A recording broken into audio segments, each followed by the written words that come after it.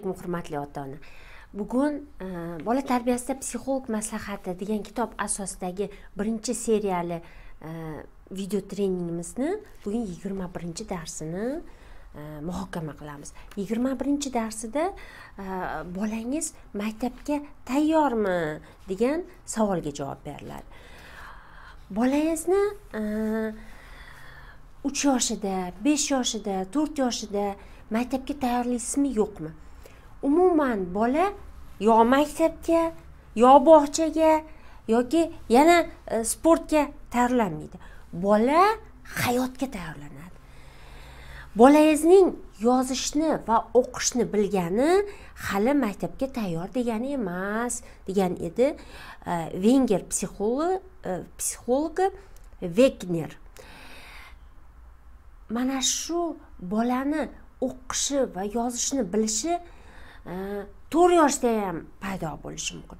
Ammo bu bolani maktabga berish berishga xavfli degan degan e, javobni aytamiz biz psixologlar. Nimaga? Bolani maktabga tayyorgarligi uch xil e, darajada e, talqin qilinadi. Birinchi intellektual tayyorgarlik shaxsiy tayyorgarlik va ijtimoiy tayyorgarlik. Endi intellektual tayyorgarlik nima degani? Bolangizni xotirasi diqqati e, biron narsani tushuna olishi e, tushungan narsasiga anglab javob bera olish bilimlarini intellektual tayyorgarlik deb ataymiz. Bola e, birinchi sinfda umuman umuman olganda o'ttiz daqiqa bir joyda o'tira olishi kerak.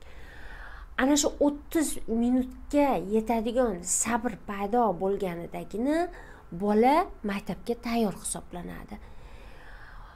O'ttiz daqiqaning hech bo'lmaganda yigirma daqiqasida bola tashqi olamdan ya'ni o'qituvchidan kelayotgan ma'lumotlarni miyasiga singdirish va shu orqali balkim harakatga kelib qo'li orqali biror narsa yozishga kuchi yetishi kerak.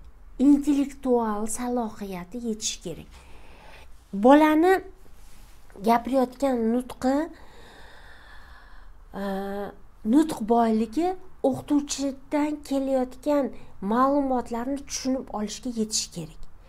Farzandingizda suhbatlashish malakasi va o'z fikrini qaysidir imkoniyati yetgan darajada aytib bera olish malakasi bo'lishi kerak. Buni qanday bilsak bo'ladi? Farzandingiz gapini orasida agar shuning uchun degan so'zlarni ishlatayotgan bo'lsa demak sizni gapingizni eshitib tushuna olyapti xulosa chiqaryapti. Va o'sha xulosa asosida sizga yo tushunganligini yoki tushunmaganligini sizga bildira olyapti. Umuman olganda farzandni intellektual e, maktabga tayyorgarligi e, biron e, dunyodagi biron ma'lumotni sistemaga solish e, darajasiga yetadi. Ya'ni qanaqa sistema? Jonivorlarni uy hayvonlari yoki e, e, e, yoki o'rmon hayvonlari deb atashga uning aqli salohiyati yetadi. Bu uy buyumlari bu maktab buyumlari deb ayta oladi. Ovqatlarni salatlarni va shirinliklarni sistemaga ajratib biri biriga to'g'ri kelmasligini bola anglab shuni sifatlay oladi. Shunday mm, bolangizdagi e, shunday sifat paydo bo'lsa e, bolangiz maktabga intellektual tayyor deb atay olamiz. Endi shaxsiy tayyorgarlik. Shaxsiy tayyorgarlik bu e, bolani maktabga chiqayotganida o'zini shaxsiyatini idrok qilish o'zini shaxs sifatida taqdim qila olish o'zini shaxs sifatida e, eplay olish malakasini e, aytamiz. Ya'ni bola o'z kiyimlarini o'zi kiya olishi kerak maktabga ketish e, borish degan javobgarlikni mas'uliyatni o'z zimmasiga olishi kerak. Va e, o'sha maktabda boshqalar bilan shaxs sifatida munosabat e, uyushtira olishi kerak. Bunday bolalar maktabga tayyorgarligini qachon bilishimiz mumkin? Bola o'yinchoq o'ynashdan voz kechib akasini yoki e, opasini kitob va daftarlarini olib unga yozib tashlaydi uni o'ziniki qilgisi keladi. Uni yashirib qo'yib e, o'zini javoniga solib qo'yganligini e, bilib qolasiz.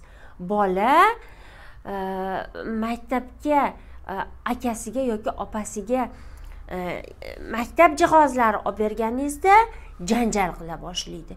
Men ham mana shu popkaga loyiqman deydi.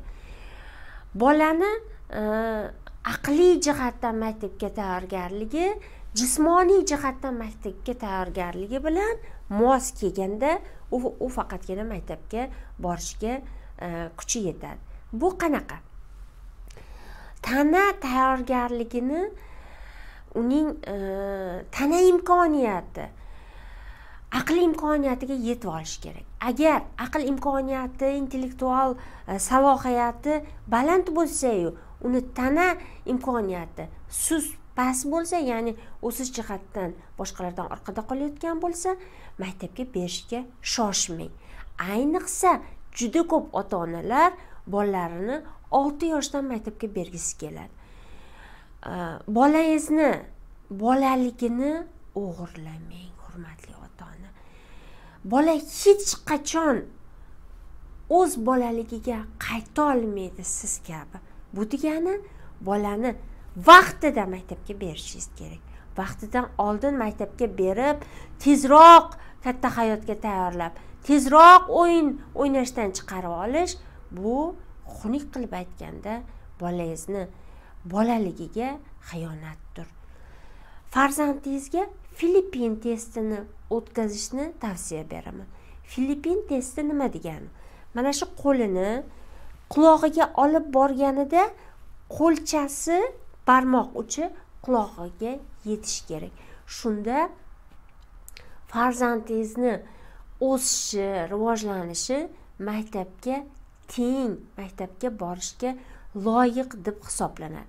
Agar uning intellektual salohiyati baland bo'lsa tana imkoniyatlari hali yetib ulgurmagan bo'lsa qisqa muddatda farzandingizni sog'ligi o'sishi bilan shug'ullanishingiz e, darkor deb o'ylayman. Nima qilish kerak? Farzandingiz nima uchun o'sishdan e, biroz qolayotganligini aniqlashingiz lozim. Bola olti yosh yetti yosh atrofida e, bolaning tishlari qimillab qoladi. Bolaning suyaklanish darajasi qanchalik mana shu suyakning ichida mustahkamlik bor degan kalsiyning e, suyaklanish darajasini aniqlaydigan shifokorlarimizni e, laborator testlari mavjud. Bu nima uchun kerak? Mana bola qo'liga bola qo'liga ruchka olib yozayotgan paytda mana shu qo'li ma'lum bir muddatda og'rimasligini e, og'rimaslik darajasida rivojlangan bo'lishi kerak suyak sistemasi agar bola yoz deb uni uraversangiz darsingni qil deb uni uraversangiz u bola ozgina yozib ruchkani tashlab qo'yayotgan bo'lsa demak uning barmog'idagi suyaklanishi hali me'yoriga yetgani yo'q. Shuning uchun ham bola uzoq muddat yozolmaydi bolada e, o'sha Э, yetti minut o'n minut ruchkani tashlamasdan yoki har bir minutda e, qo'li og'rib qo'lini tashlab yubormasdan yozish malakasini paydo qilishingiz kerak. Buning uchun bola maktabga borishidan oldin kalsiyli e, tvorogli sutli mahsulotlar bilan bolangizni ratsionini ovqat ratsionini to'ldirishingiz kerak. Umuman bola psixologiyasi qachon maktabga tayyor bo'ladi? Siz nimani kutsangiz bola o'shani eplab beradi. Agar farzandingiz e, aqlan jismonan jismonan raso bo'lganda maktabga beraman degan e, niyatni paydo qilsangiz bolangiz ham ana shu darajada rivojlanib beradi. Agar erta bersam ham eplab ketadi. Desangiz bolangiz eplab ketar ammo biroz e, jarohat biroz psixologik e, zo'riqish oladi. Bu yomonmi yaxshimi? Farzand nima bo'lganda ham bir jamoada e, o'zini o'rnini topa olishi kerak. Bu o'rni past bo'lishi kerak emas. Bu o'rni baland bo'lishi e, balkim kerakdir. Lekin farzand eplay oldim degan e, bir e, o'z fikriga o'ziga qoniqish hosil qilish fikriga ega bo'lishi kerak. Endi uchinchi tayyorgarlik farzandning ijtimoiy tayyorgarligi hisoblanadi. Bola olti yetti yoshida e, E, uydan tashqi olamga chiqib tashqi olamni o'rgana boshlaydi. Bog'chaga boradi ona bilan birga do'konlar aylanadi bozorlarga boradi. E, balkim e, akasining ishxonasini ko'rib kelgan bo'lishi mumkin mehmonlarga borgan bo'lishi mumkin. Student akasini o'sha oliy o'quv dargohiga kirib chiqqan bo'lishi mumkin. Va o'zida xulosa paydo bo'ladi. Endi men xuddi shularga o'xshab popga ko'tarib o'quvchi bo'la olamanmi? degan savolga farzand avvalo o'zi javob beradi. Qanaqa qilib? Sizning unga e, bergan bilimlaringiz yordamida. Farzand e, bog'chaga borayotganida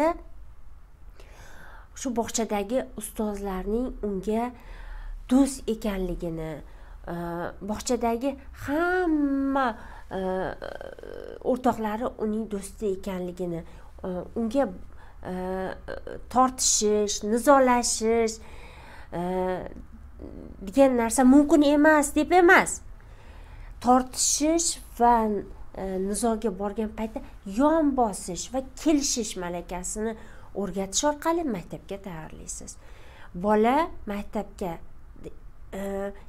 ijtimoiy ya'ni sotsial tayyorgarligi degani yangi o'rtoqlar bilan topisha olishi ular bilan kelisha olishi ularga ishona olishi ular bilan bir e, muhitda qolib e, bitta jamoa bo'lib o'z fikrini bildira olish malakasini paydo qilishi kerak. Farzandingizda e, olti yetti yosh bo'lganda shu ijtimoiy bilimlarga ehtiyoj sezadi. Men ham mehmonga borgim kelyapti. Men ham e, sizni ishxonangizga borib kelgim kelyapti degan yangiliklarni yangi jabhalarni hayotning yangi mazmunini o'rgangisi keladi. Ayniqsa televizorda shu maktablarni ko'rgan bola e, orziqib ketadi maktabga borish uchun. Shu paytda farzandingizga Э, maktabning muhitini opalari orqali ustozi ustozlari bilan bo'layotgan munosabatni tahlil qilish yordamida e, o'rgatib boring. Bu bilimlarni olgan bola ha men o'sha opamni o'rnida bo'lganimda mana bunday o'zimni tutgan bo'lar edim deydi va o'zini uni o'rniga qo'yilgani uchun maktabga borish uchun o'zida kuch topadi. Maktabni e, bog'chani bitirayotgan bolani maktabning oldidan olib o'tayotganingizda har kuni mana shu maktab haqida bir yaxshi fikrlar bildiring. O'quvchilarga e, e, diqqatingizni qaratib shu o'quvchilar haqida qanaqa fikrlari bor ekanligini farzandingizdan so'rang. Ba'zan maktabga katta farzandingizni olib chiqish uchun birga kirib sinf sinflarni partalarni bolangizga ko'rsatib chiqishingiz mumkin. Shu partalarda endi sen ham o'tirib ko'rchi deb farzandingizni shu e, muhitni his qilishiga e, bir turtki bo'lishingiz mumkin. Va albatta e, shu joyga e, maktabga e, katta farzandlaringiz uchun kirib qolgan ekansiz. Ustozlar bilan tanishtirib e, farzandingiz hamma shu maktabga kelishini va buni orziqib kutayotganligingizni aytganingizda farzandingiz bunga qanday munosabat qilganligini bir e, ko'rib kuzatib boring. Farzandingiz maktabga e, borar ekan butunlay harflarni o'qib hamma e, e, e, bo'g'inlarni yodlab o'qishni to'liq bilib borishi kerakmi yo'qmi? Umuman olganda uch yoshlik bola sanoqni bilishi kerak to'rt yoshli bola qo'shib qo'shish nimaligini tushuna olishi kerak.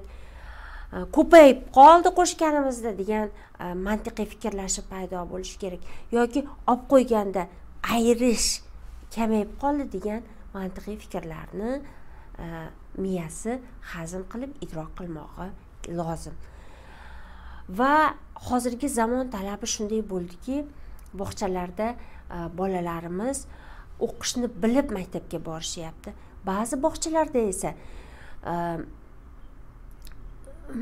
boshqa tillarni ham o'rganish maktabga qaysidir bir tilni o'rganib borish ham yuklanmoqda umuman olganda farzandingiz hayotda beshta tilni bilib baxtli bo'lmaydi farzandingiz dunyoda o'z o'rnini topib baxtli bo'ladi buning uchun farzandingizga e, tanlov imkoniyatini berishingiz kerak. bir ming to'qqiz yuz e, o'ttizinchi yillarda bitta bola e, ikki yuz metr e, radiusda aylangan ekan. Bu degani bitta qishloqning bitta e, uch to'rt ko'chasini aylanishiga ruxsat bo'lgan ekan. Chunki shunchalik insonlar e, bir bir biriga ishongan bolalar ko'chada o'ynab yurgan e, zamonlar bo'lgan ekan. Hozir farzandlarimizni e, harakatlanish radiusi bitta xona timsolida yoki qo'lini ushlab yurgan kichkinagina bir joy timsolida bo'lib qolmoqda. Farzandning yugurishiga o'yin o'ynashiga daraxtlarga osilib chiqishiga imkon berishingiz kerak. Nima uchun? Qachonki bola daraxtga e, chiqishni e, oldiga maqsad qilganida u o'zini tanasini idrok qilib eplay olishini abjir bo'lishini yiqilib ketmasligini oldiga maqsad qila oladi. Bu esa farzandingizni irodasini e, o'z tana imkoniyatlarini e, e, paydo qilishni abjirlikni reaksiyasini tezligini paydo qiladi. Farzandingizni e, hayotda baxtli bo'lishini uch to'rt besh olti yoshli bolani timsolida o'yin orqali hayotni o'rganishini tushunib yeting. Ya'ni bola o'yin o'ynab baxtli bo'ladi. O'rtoqlari bilan o'ynaganda dunyoning kattalar e, zamoniga E, yetib olishi uchun kichkina sahnalashtirilgan ko'rinishlarda o'yin o'ynaydi. Farzandingizni mehnati bor. Ana shu mehnatining oti o'yin o'ynashdir. O'shanda o'yin o'ynash orqali farzandingizni miyasida tanasida judayam ko'p retseptorlar shakllanadi. U retseptorlar hali bo'sh xotiraning e, har bir yacheykalari hali bo'sh bo'lishi mumkin.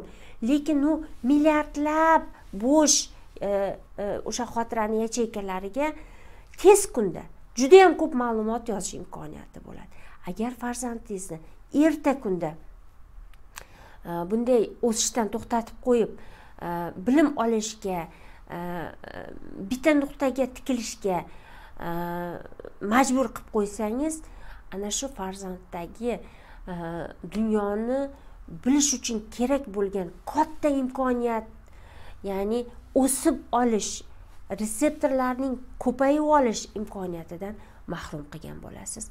Qachonlar keladiki? O'sha o'sishni o'n to'rt yoshida iloji yo'q. Unaqa qonun yo'q. Shuning uchun besh olti yoshli bolangizni asosiy rivojlanish fazasi bu uning e, abjirligini o'yinqaroqligini e, o'rtoqlari bilan o'yin o'ynash e, mehnatini qilishida deb o'yla tushunib yeting. Maktabga borgandan keyin Э, balkim beshinchi oltinchi sinfda ham birdaniga bir necha tillarni o'rganishga o'sha paytda imkon bo'ladi albatta. Bugun esa farzandingiz maktabga borishdan oldin e, tana imkoniyatlari ijtimoiy e, bilimlar imkoniyati hamda intellektual e, bilimlar imkoniyati hammasi to'planib jamlanib raso bo'lganda yetti yoshda maktabga berishingizni taklif qilamiz. Nima uchun yetti yoshda? Olti yoshda emas.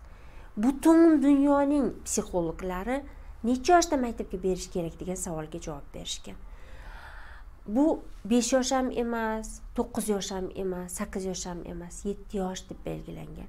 Ana shu payt e, eng raso e, paytga to'g'ri keladi. Bolangizni e, erta maktabga berish olti yoshdan maktabga berish e, agar sizda orzu paydo bo'lgan bo'lsa psixologlar e, bilan birgalikda e, mana shu qarorga kelishingizni tavsiya qilamiz. Bolangiz tana imkoniyatlari yaxshi bo'lishi mumkin zehni o'tkir bo'lishi mumkin xotirasi juda yam kuchli bo'lishi mumkin.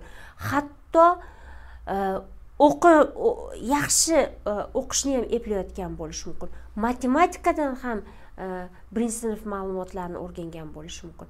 Ammo faqat yetti yoshdagina xulosa qilish degan sistema ishga tushadi. Ya'ni olgan ma'lumotlarini hayotda qanday ishlataman degan xulosa yetti yoshda paydo bo'ladi. Xulosa qilish sistemasi yetti yoshda ishga tushadi.